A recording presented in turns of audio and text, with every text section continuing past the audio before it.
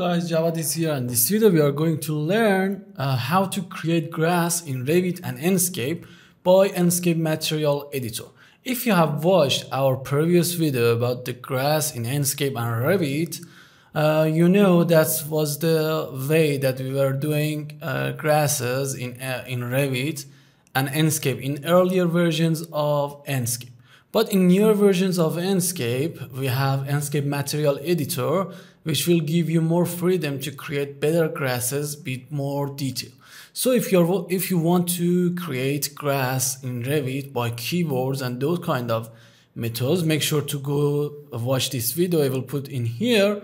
But if you want to update yourself with the new way of cre grass creation plus uh, two other tips that we will discuss in this video, make sure to watch this. Okay, in this simple project, as you can see in here, uh, we have a site. Uh, let's go to the Enscape view, and we have a site, and we want to create a SK and uh, create a grass material for it. Let me put it on lower uh, resolution for better performance in here because I'm recording at the same time. Okay, now let's create a material for this uh, site. To do that, let's go back to the uh, Revit window and in here let's select this one and in the material part let's create a new grass let's call it new grass. For a start you need to do the same thing but you don't need to put any grass keyword as uh, the uh, old way of grass creation. So you just need to name it whatever you want. For example let me put it TAT dash for example gr and then I don't need to do anything in here. I can do all of those things. Just let me put a sh uh, shaded uh, color and click on OK and OK and also if you are not a Revit user you can follow along. The workflow is same for each software or each 3D software you use so don't worry about that. And let's go to uh, the Enscape material editor and let's edit that material Okay, let's go to the Enscape material editor and let's search for the material that we have created .gr and in here put it on grass to see all of the uh, things that you can get. Uh, the things that most of the uh, new users of Enscape do, they don't do any, they don't uh, assign any texture to their grass. They just go to color and they put, a, for example, a uh, really dark or uh, something like this. And they would uh, sit on the Enscape let's go in here. As you can see this is the grass that you can get with the same color.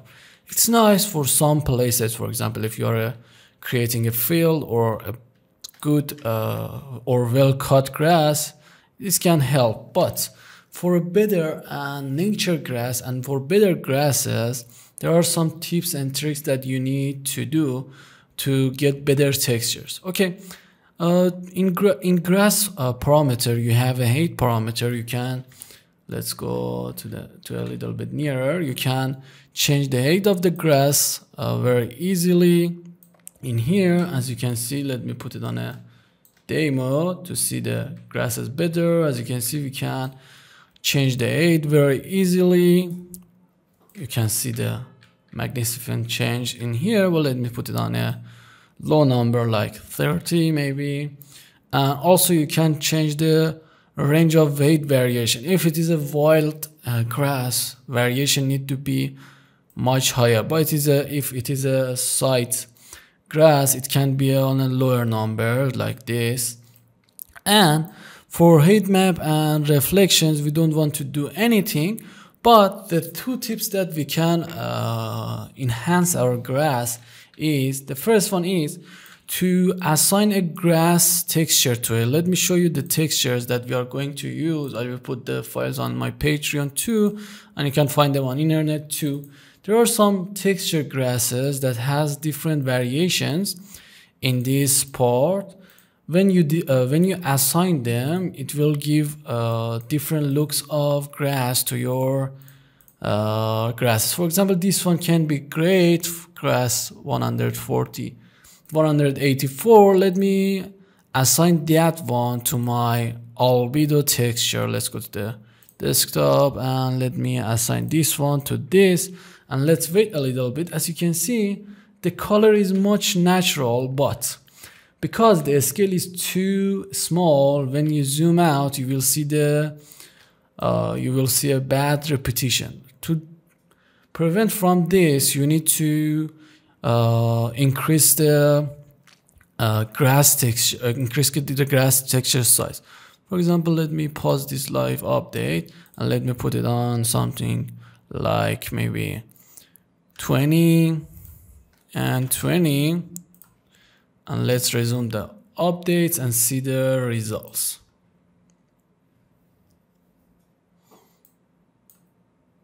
You need to wait to see the exact results in here. 20 is really big. We need to put it on a lower number. Let me pause the live update again let me put it on something like 5 and let's resume the update. You can see it's much better in uh, color variation. You can test different uh, grasses too. And also as I said for some places the color part is better. But if it is a side grass or it is a natural grass this will give you a better feeling about this one. And let's go and learn the second tip for the second tip, we, are, we need to thanks to Herbo. I hope I am pronouncing right. And this is the Enscape Forum uh, tip, which is about uh, grass variation. To apply this tip, you need to go to your, uh, let's, uh, you need to close your Enscape. For the second tip, after closing your Enscape, you need to go to the, your File Explorer and you need to go to it may be different in your uh, computer, but it is between one or two pass. The first pass is here. As you can see, the first pass is here. You need to check in here. If there were, there were no uh, uh, no files in this pass, you need to check the second pass, which is this one for uh, user uh, for ease of use i will put the link of this forum post in the comments too. But when you go to the uh, pass you will have these kind of files. Don't mess around with the other ones. But for the grass png cut it and put it on somewhere else. For example let me let's put it on our uh, desktop and replace this one with that. Replace the new grass with that but make sure when you bring it let me copy this one in here make sure to rename it to the exact thing that the previous one previous one was which was grass png the exact name like this. And then uh, you need to launch your uh, 3d software and Enscape uh, again to see the difference as you can see in here, we can see a big difference. Uh, I will put uh, side by side the pictures in here. The old grass and the new grass, you can see, uh, see them side by side and you can really understand the difference when you add textures and colors and grass variation. I hope this video has been helpful for you. If it was, please don't forget to like this video and share it with your friends and colleagues. And if you are interested in more Enscape tips, I will put a playlist in here, Enscape tips. You can go there and watch dozens of Enscape tips. I will see you on the next session.